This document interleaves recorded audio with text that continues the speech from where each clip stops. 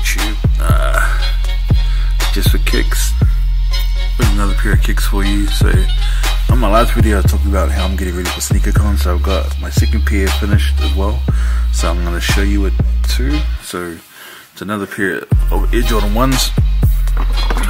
So, these ones are size 13 this time. Um, and same thing undersized lid but boom are so they have these are more of a, a Polynesian uh, feel to these ones. So I'll pull them out. Um, for those who have subscribed to my channel you would have seen the the baby Air Jordan 4s that I had done. So it's uh, these are inspired by um, the Polynesian tapa cloth.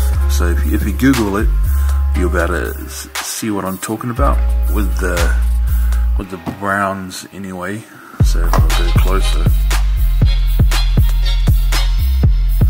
that's the browns. So this is one of the shoes. So and they're mainly generic Polynesian patterns that you'll see uh, across the majority of the cultures.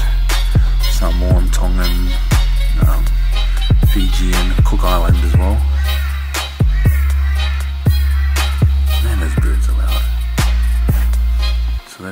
shoe.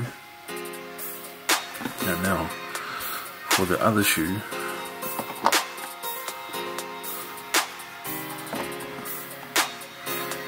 see, this is all hand done too, all hand painted.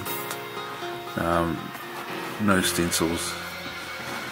For me, this is probably the, the artwork that I enjoy doing the most. Just because it's, I know it's, it's different to what everyone else is used to seeing on YouTube with, you know, all the other designs that are going out. So, just keeping, keeping it different anyway. And I like the white lace as well. Once again, it, it helps make the pattern more desirable. Not desirable, but more visual. Um, I used three different colors, four different browns, and that's a dark brown there. So I'm gonna take some more footage for you so you can guys see it outside. You know, just trying to pick up my my video game so I can be, be like everybody else. But so far, thanks for everybody who has subscribed to my channel. Fully appreciate it.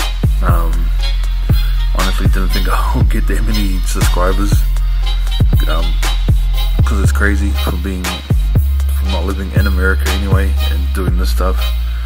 Not as regular as I hope to, but I'm just doing it as best as I can. So, as I said before, this is just for kicks. Thank you guys very much for following me on my journey.